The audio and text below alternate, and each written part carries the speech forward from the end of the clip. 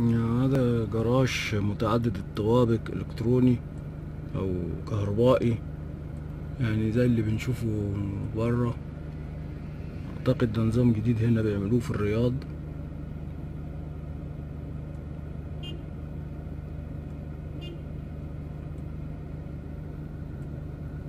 ده برج المملكة.